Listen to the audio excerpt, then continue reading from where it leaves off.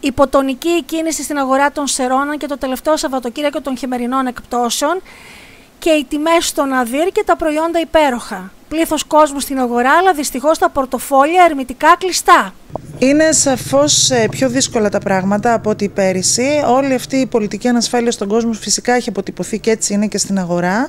Ε, η οικονομική δυσπραγία αποτυπώνεται στον καταναλωτή και φαίνεται σε εμάς γιατί η κίνηση στην αγορά είναι μόνο την πρώτη εβδομάδα 7 με 10 μέρες από την ώρα που πληρώνει το κόσμος και πολύ είπα.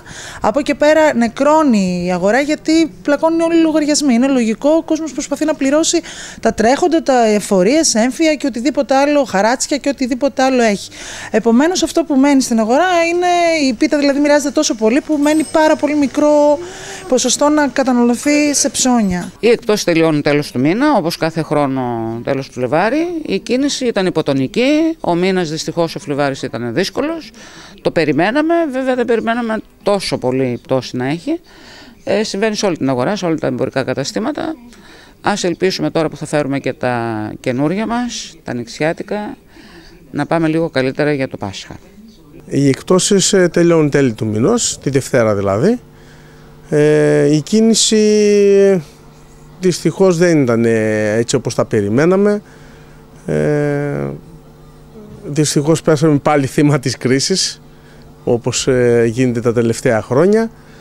Ε, τώρα ίσως που έχουν πληρωθεί αυτές τις μέρες, χθες σήμερα, ίσως τις τελευταίες μέρες, δηλαδή αύριο, Δευτέρα, ε, ίσως δούμε λίγο κίνηση.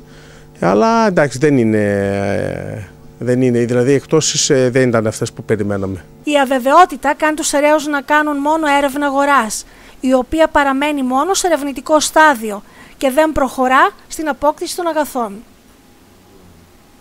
Ε, νομίζω ότι θα πρέπει να γίνει κάτι σε αυτό. Η αγορά έχει ανάγκη από ανάπτυξη, όχι πλέον από άλλους φόρους.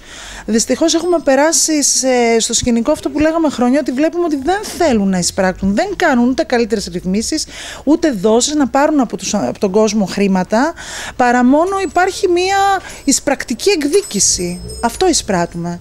Και καθόλου ανάπτυξη. Επομένως, δεν νομίζω ότι αυτό θα οδηγήσει κάπου. Τέλος του μήνα ο κόσμος μπορεί να πληρώνεται και δηλαδή, δηλαδή θα βγει βγει τις δύο πρώτες μέρες του μήνα έξω για να κάνει τις αγορές του, αλλά πρέπει να πληρώσει το έμφυα, πρέπει να πληρώσει υποχρεώσεις πάρα πολύ μεγάλες, πάρα πολλές και επομένως θα πρέπει να δει πρώτα τα είδη πρώτης ανάγκης, δηλαδή σούπερ μάρκετ, τρόφιμα κλπ.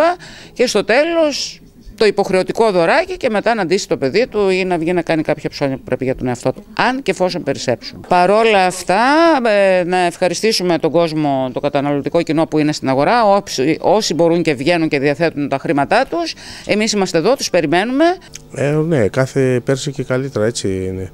Ε, γιατί δυστυχώς ε, αντί να ελαφρύνονται τα, ε, τα νοικοκυριά και οι πολίτες από φόρους και από ε, να πληρώνουν οτιδήποτε άλλο εκτός από το να αφήνουν τα λεφτά στην αγορά, δυστυχώς αυτά αντί να μειωθούν αυξάνονται.